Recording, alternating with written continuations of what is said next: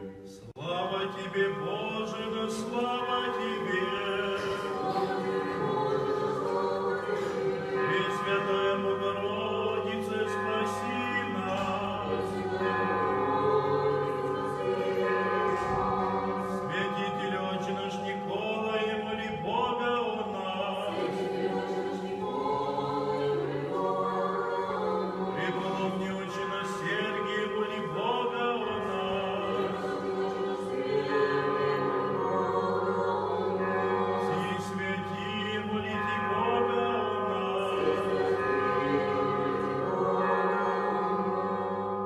Во имя Отца и Сына и Святого Духа.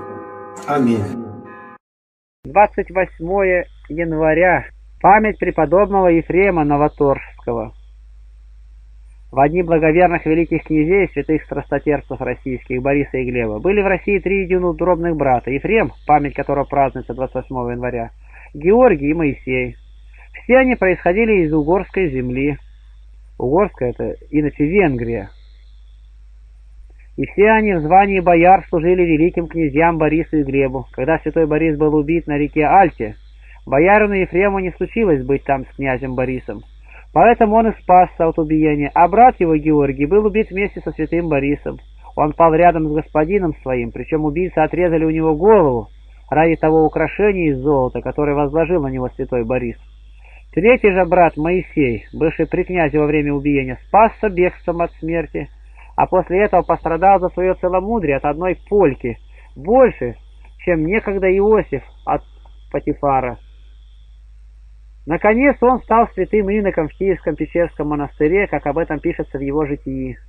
Этот же блаженный Ефрем после убиения благоверного князя Бориса прибыл на то место, где было совершено беззаконное убийство, и, плача и рыдая, искал тело своего брата, но нашел только голову, которую и хранил до своей кончины.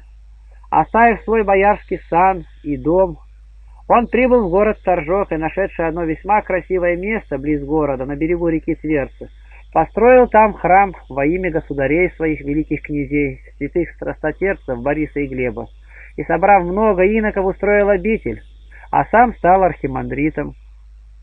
Доблестно потрудившись в посте и молитвах, он благоугодил Богу и приставился в 1053 году. После представления его у гроба его многие чудеса совершались и подавались исцеления болящим.